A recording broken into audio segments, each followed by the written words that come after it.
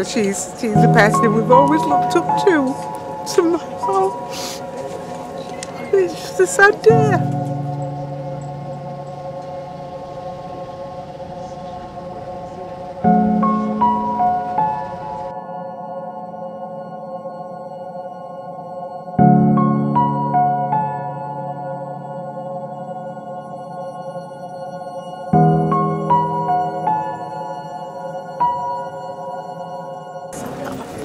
I don't really know what's going through. You know, it's it's just a sad day for us all today.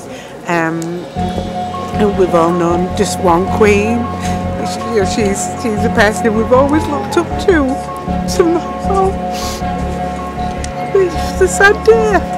Just a very very sad day.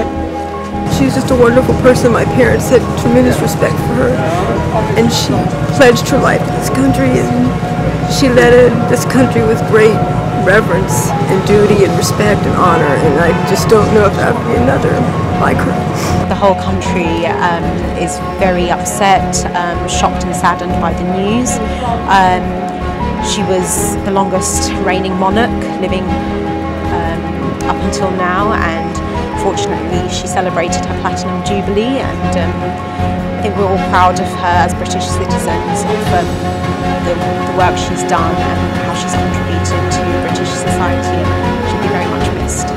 She had an impact through all generations.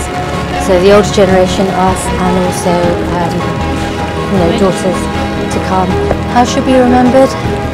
Humility, respect, dignity, the old-fashioned values that she brought into the modern society.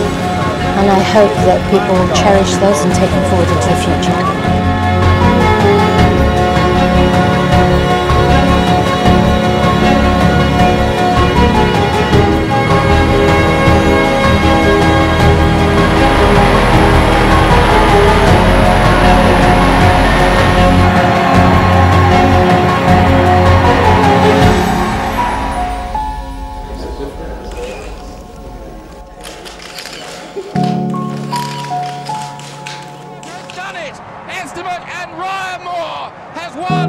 Her Majesty the Queen